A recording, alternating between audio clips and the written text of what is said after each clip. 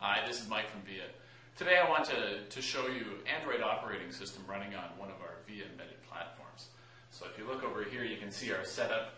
We have a, a VIA EITX 3002 board, uh, which features a, a, VIA Nano X2 dual-core processor and the VX900H uh, medium system, media system processor.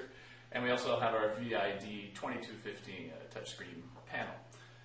As you can see, we have multiple USB devices connected. So if you look at the screen, uh, you can see that we have Android operating system running. Uh, you have your option for a browser. And it's touchscreen, you can scroll across. Uh, with the VX900H and the, uh, the Nano X2 x86 processor, it offers you a, a richer, more flexible uh, operating system to run all your applications. So one of the great advantages of running Android operating system on an x86 platform is, as you can see, you get a much richer I/O capability and flexibility. Uh, there's multiple USB device or ports and all your connections, and also with an x86 processor, you have much stronger computing power. And with the VX900H media system processor, it allows you to run your videos and, uh, for a much richer capability, up to 1920 by 1080 resolution.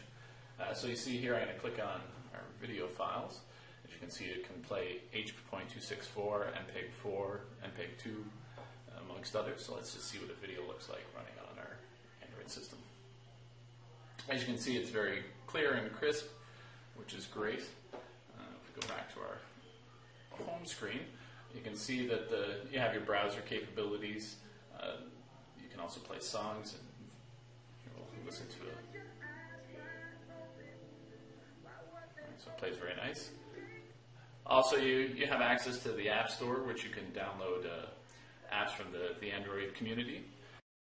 All right, another feature we've built into the Android operating system here is our Smart ETK, which is an embedded toolkit, which allows you to control external devices hooked up through USB ports. So if we click on here, you can see the interface. I can enable the devices. And as you see, we have a fan and an LED light, which I can turn on here